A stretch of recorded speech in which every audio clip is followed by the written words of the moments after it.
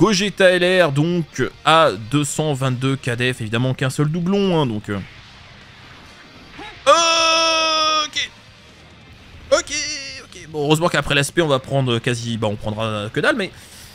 Ouh, oui. Oui, oui. Hein? Bonjour à tous et bienvenue dans cette analyse où l'on va parler de l'avantage type pour ce faire, on va se baser sur l'exemple de John Jodan, qui a tenté de tanker Omega Intelligence avec son Gogeta LR Endurance qui avait 220 KDF, et qui d'après les anciennes règles de calcul au niveau défensif, devait subir 0 et au final a subi beaucoup beaucoup de dégâts. Et on va donc expliquer ce phénomène en vidéo et tout ce que ça implique en event in-game.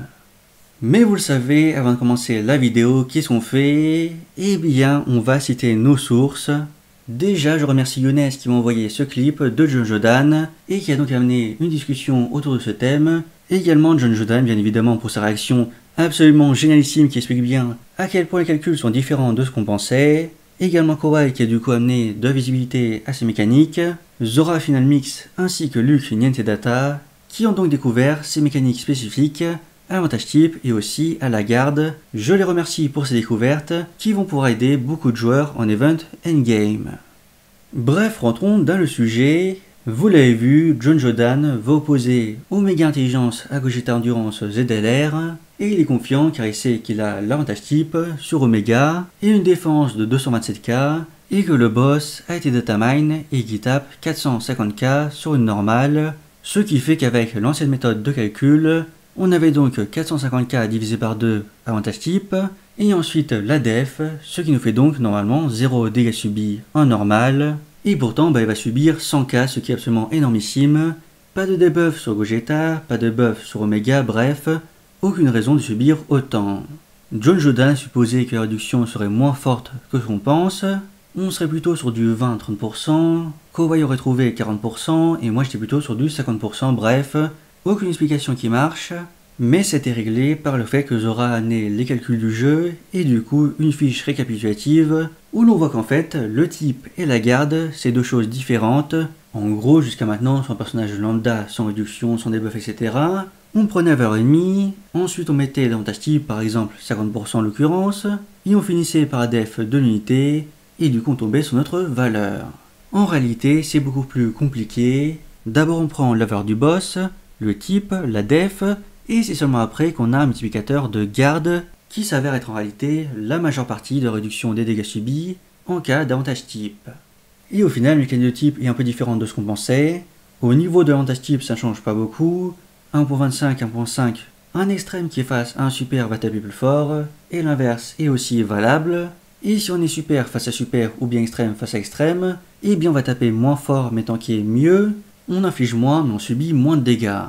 Mais là où ça change, c'est au niveau de l'avantage type défensif, car jusqu'à maintenant, on pensait que l'avantage type réduisait de 50% ou bien de 55% les dégâts de l'adversaire, ce qui était donc extrêmement important comme des buffs, sauf qu'en fait cette réduction n'est pas de 50%, mais seulement de 10% du coup, un petit peu différent de ce qu'on pensait, et au niveau de la garde, on a du coup 20% de réduction, ce qui est proportionnellement extrêmement impressionnant, et ça explique notamment la réduction de ouf de Guanutin Tech.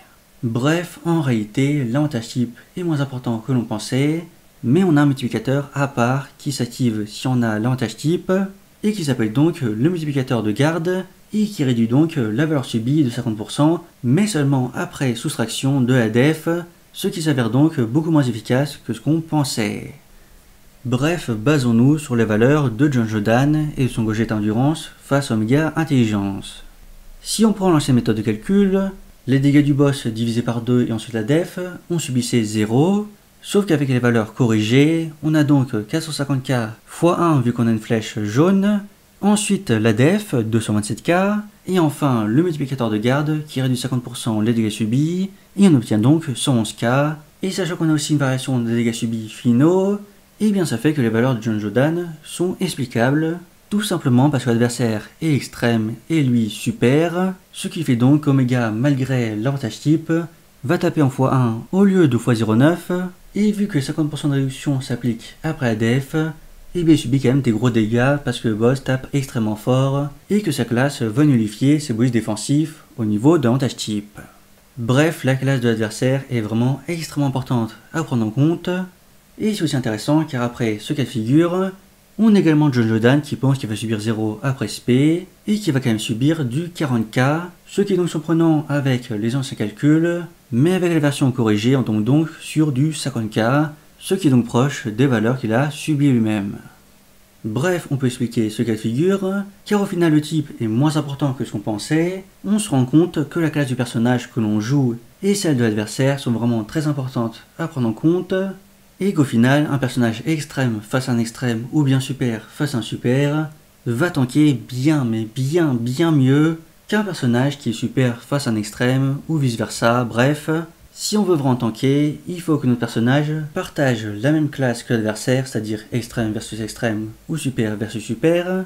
Et au contraire, si on veut taper, il faut privilégier des personnages super face aux extrêmes et des extrêmes face aux super.